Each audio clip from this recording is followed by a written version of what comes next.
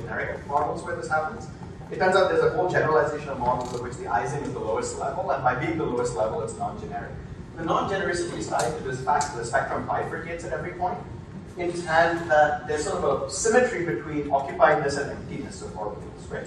So it turns out, in a technical sense, what it means is that when I decimate a bond in the Ising model, I get, I never, I always take away two spins and they, they're frozen. And so going back to the question you asked a minute ago, the two spins are frozen.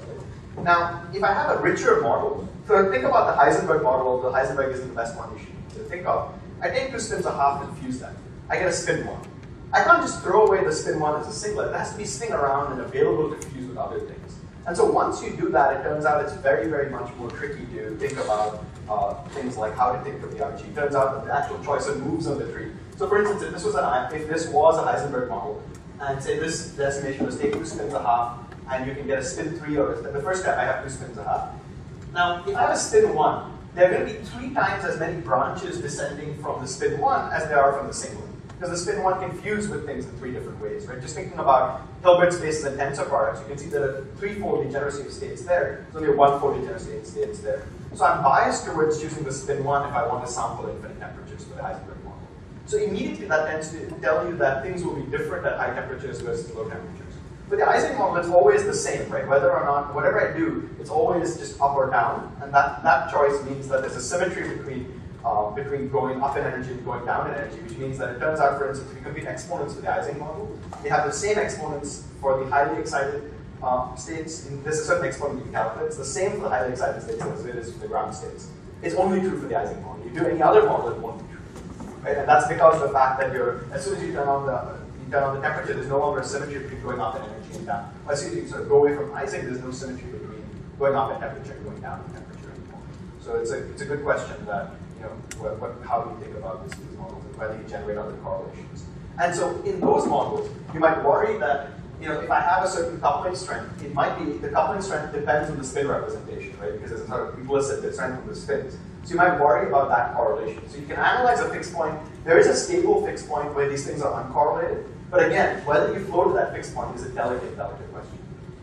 We've done numerical tests that seem to suggest that that happens by just doing exact diagonalization, comparing it with RG and it seems to be reasonable, but you might always worry that in some huge system something goes wrong somewhere. It seems like an unreasonable worry, but it's not something that we can really rule out. So there's that. Okay. So what I want to do is argue that, so you can actually write down the following equation. So, so for the Ising model, I can, let me think of the following. Let me think of rho of beta omega. So what this is, is going to be the distribution function. This is the probability. So it's a the probability of bond strength beta at scale gamma. So let's say, suppose I've run the RG for a while. What's the probability that my bond strength is, uh, is beta when I've run the RG and the scale is gamma? So I have a theory, think of this as doing RG in a theory with a cutoff, right? Gamma is just log of the strongest coupling. So think of the strongest coupling as playing the role of your cutoff and your normalization. So this is saying, as a function of the cutoff, what is my bond strength distribution? So this is the variable whose behavior we'll study under the RG. So we'll write down RG equations with this variable. So it turns out that what I can write down, let me write down an equation, then I can explain it.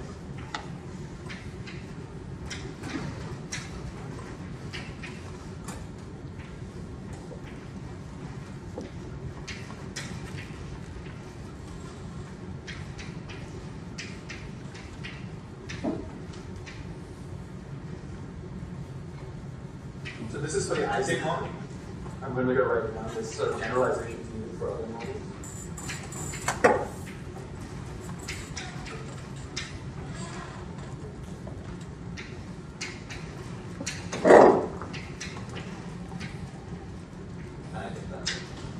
Okay, so this needs some explanation.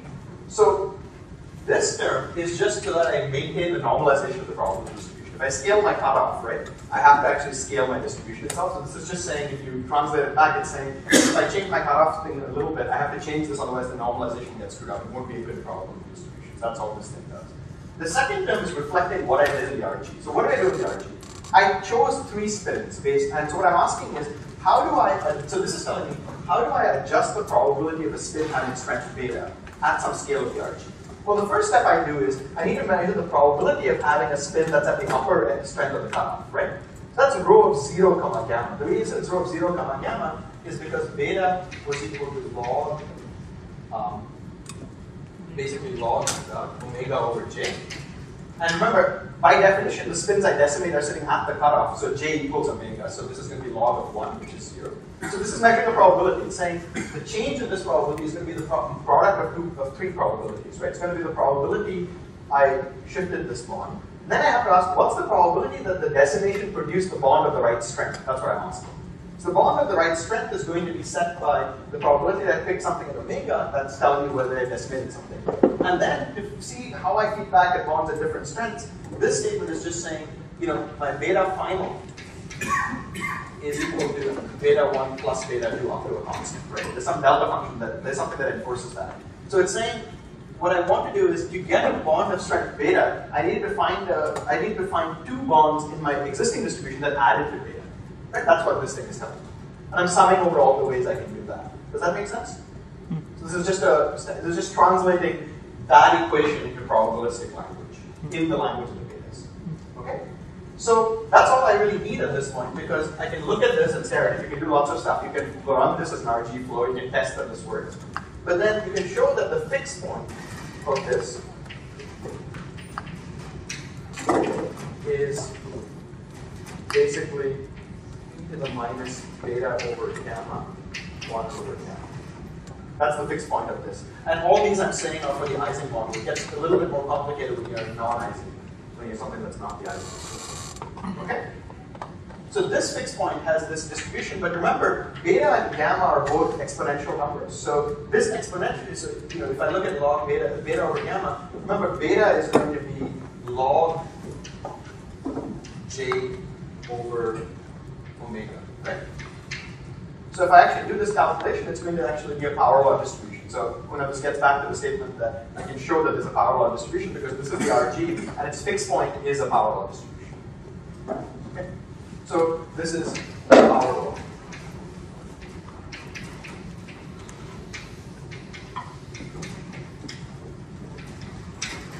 Okay?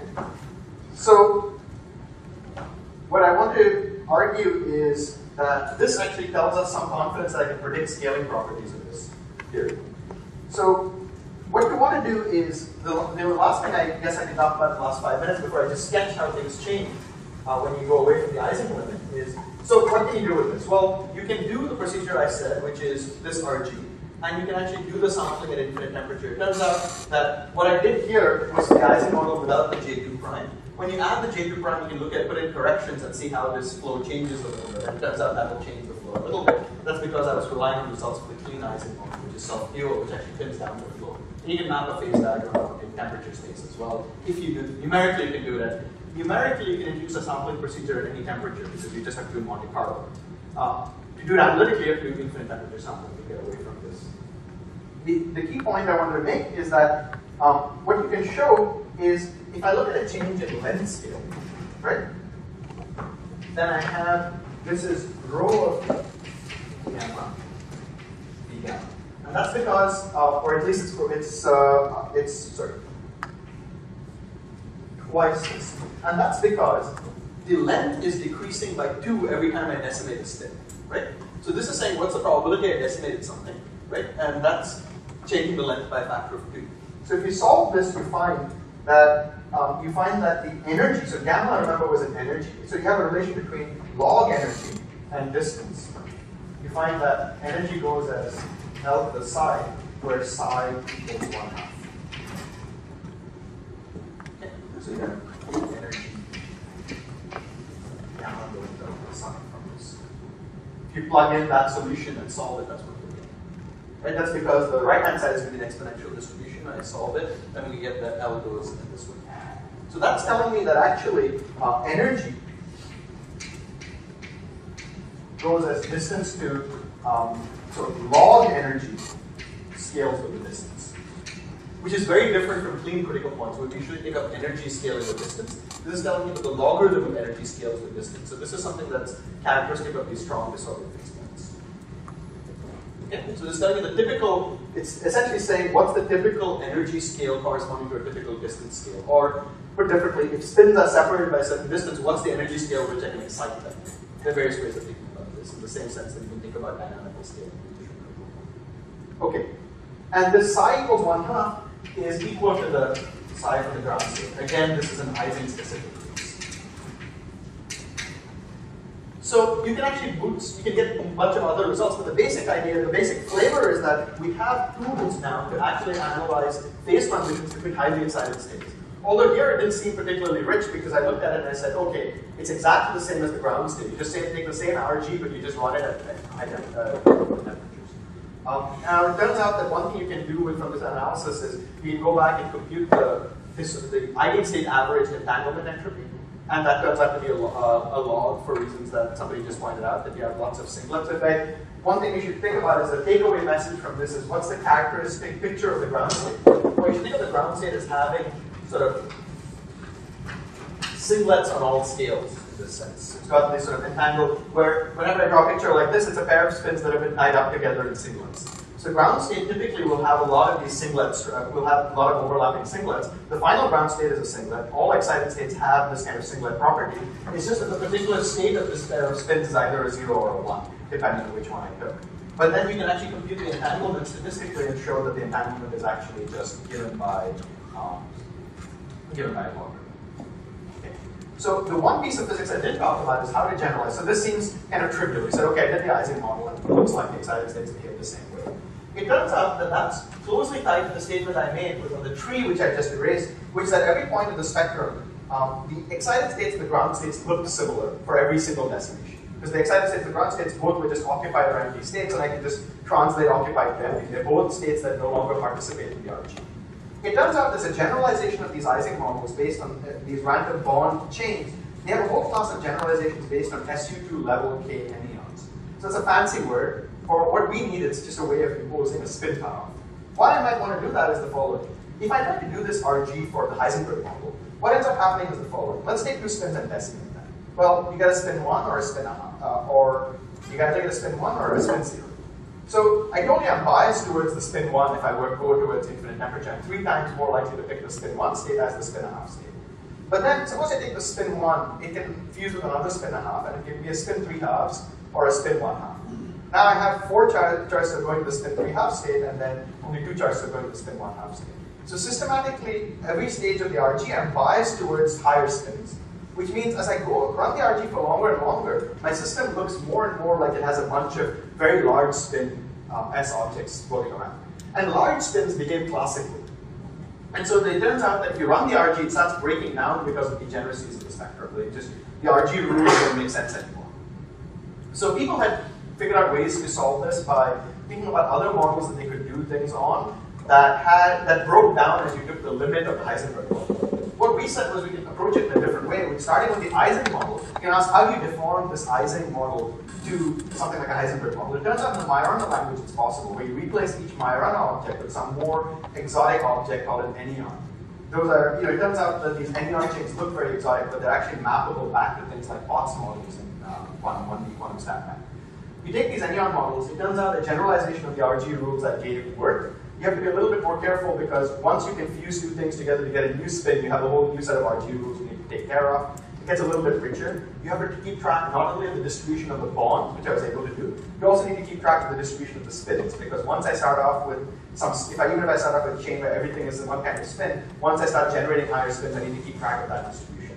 When you do all of this, you find that there's a whole rich array of uh, fixed points. But the, the, nice thing is that they have similar structure here, but they have, so this start with this, as SU level SU2 level K, you get something where the psi of the ground state is not equal to psi equals infinity.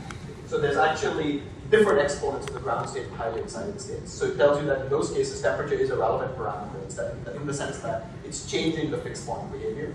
You can actually also ask whether these are critical points or critical phases. It turns out in many of the cases you have what are called what are critical phases of these theories. In the sense that here, so coming back to the Ising model, I focused the critical point where you have self-similar structure. So what I should say is you could have run the RG for something that had the systematic bias I put in earlier, which is saying, let's make all the even bonds bigger than all the odd bonds statistically. If you do that, eventually the RG procedure will actually start systematically decimating only even bonds or systematically decimating only odd bonds. And that is no longer a scale invariant fixed point. It's actually a fixed point that's controlled by either having an Ising paramagnet or an Ising glass. And so that allows you to access those two phases. This dimerization is this perturbation that control that, whether this delta term, whether I bias things on the even bonds or the odd bonds. But it turns out such perturbations are no longer something I can sharply define once I can generate two spins confused to give another spin. Because then I've changed the notion of evenness and oddness. Right? So if I take four spins, I take the, the two middle ones and fuse them, um, and I generate a new spin. I've just flipped the meaning of even and odd bonds anymore. So the kind of dimerization perturbation I put in don't, doesn't quite make sense anymore. So it turns out it's kind of harder to find relevant perturbations, so they seem to be more stable phases for these bonds. They have a richer structure. So I think with that, I'm sort of giving you a sampling of ideas that we use to study excited states and excited state transitions of disordered systems. So stuff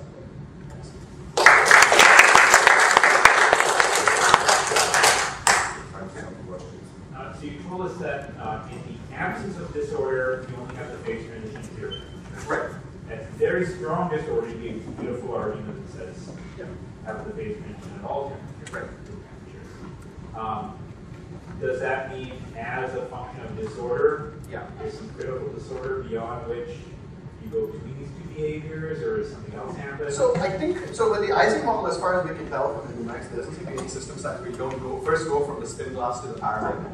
Right? So you might say that the, the spin, it just seems like you always have three phases in the model.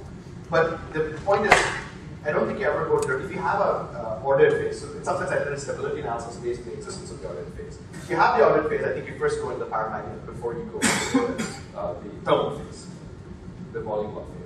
But the question you can ask is, just forget about Ising models, right? Just think of a, sorry.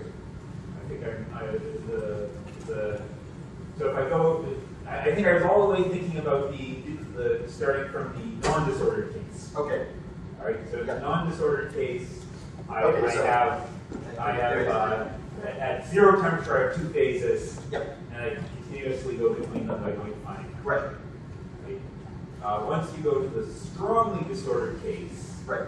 now I'm having So, three phases, and I can't continuously go between. so here's a, cheated a bit. If I take the true Ising model, right, without these J2 prime terms, there's actually, it's any arbitrarily weak disorder will actually um, be fine because, you know, it, it destroy, it, it arbitrarily weak disorder pins domain walls in the Anderson model, right? Um, it, because and it's everything's non-interacting, so I can just use Anderson localization and infinitesimally weak disorder is enough, and I'll get, I will restore the fact that there's two phases even highly excited states. Once I have the J2 prime interaction term, though, now it becomes a subtle question because I have to worry about interactions fighting against the disorder. So if you like, really the existence of three phases of that model is not surprising in the absence of J2. In some sense, you can analytically show that's true. It's somehow most surprising when, I think the point is that with interactions, the fact that there's stable phases like that is more exciting, is the most exciting thing with these additional So, so to answer my question, infinitesimal disorder is sufficient to, to make the in the absence of the absence of interactions. So you you have to think about everything the disorder interaction plane. So if I have strong interactions, right? If I have say I have some interaction strength, I put in a little bit of disorder. If the disorder is much less than the interactions, I would argue that most likely you won't. You'll just have the thermal phase again. You'll just have a single thermal phase. I think. But would you argue with that? If it's interacting, As long as it's free fermions. no, no, interacting. you said three I, fermions. yeah, I, I, would- I would worry about the limiting process because I, I think initially I was with you, sure, because you know, as long as it's a nearest neighbor that has free fermions, there's nothing, Yeah. you know, the localization length would be very long. But once it's interacting, Yeah. I think their worry is that, that near the transition, things might be. That- but that's exactly what I said. I was, I was saying exactly. I said once it's interacting, it's probably you have to be careful about the limits of disorder versus interactions. If you have a finite interaction strength and you take disorder well below that interaction strength, I don't think this will hold. And possibly temperature. Right? Oh, and Go to temperature. lower We were talking temperatures. about- Oh, lower temperatures. Because at least uh, Vadim's uh, numerics show a mobility edge for this model consistent with that picture sure. Again, this is delicate. I personally, I'm agnostic, but leaning towards the existence of a mobility edge. I think it would be sad, it would be weird if there wasn't. I like the later on. Gila paper has strong arguments, as Vadim said. But there are also now arguments against the mobility edge from pretty reasonable mathematical physicists. So now it's a back and forth whether that's there.